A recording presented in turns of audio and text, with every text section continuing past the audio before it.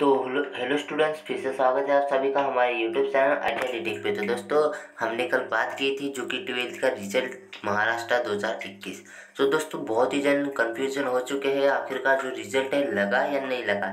दोस्तों, कल मैक्सिमम लोगों को पता चल गया था कि जो ट्वेल्थ का रिज़ल्ट है एचएससी महाराष्ट्र बोर्ड का, जो कि लग चुका है। पर दोस्तों, ऐसा कुछ नहीं हुआ। तो दोस्तों, इसके पीछे क्या रीजन है? आखिर आपका रिज़ल्ट कब आएगा और आपका मार्कशीट कब डाउनलोड होगी?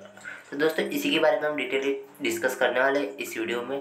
तो दोस्तों, आप बने रहिए हमारे वीडियो के साथ और देखते रहिए हमारे YouTube channel I T I T को। और सबसे पहले बता दो, अगर दोस्तों आपने हमारे चैनल को सब्सक्राइब नहीं किया है तो सब्सक्राइब कर लीजिए ताकि ऐसी रिलेटेड अपडेट्स आप तक सबसे पहले पहुँच सके।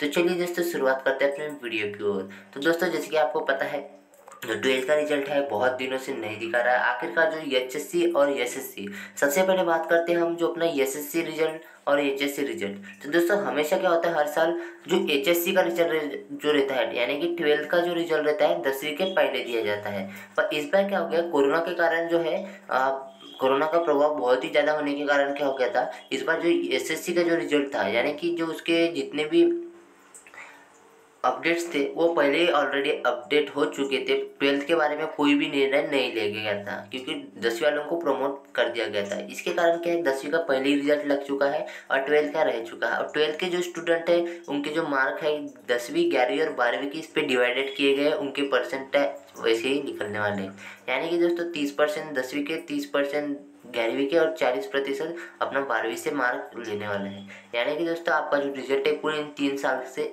तीन साल का एक खट्टे बनने वाला है। तो दोस्तों, अब बात ये रहेगी कि हमारा जो रिज़ल्ट है, आखिर कब तक आएगा? तो दोस्तों, यहाँ पे क्या हो रहा है?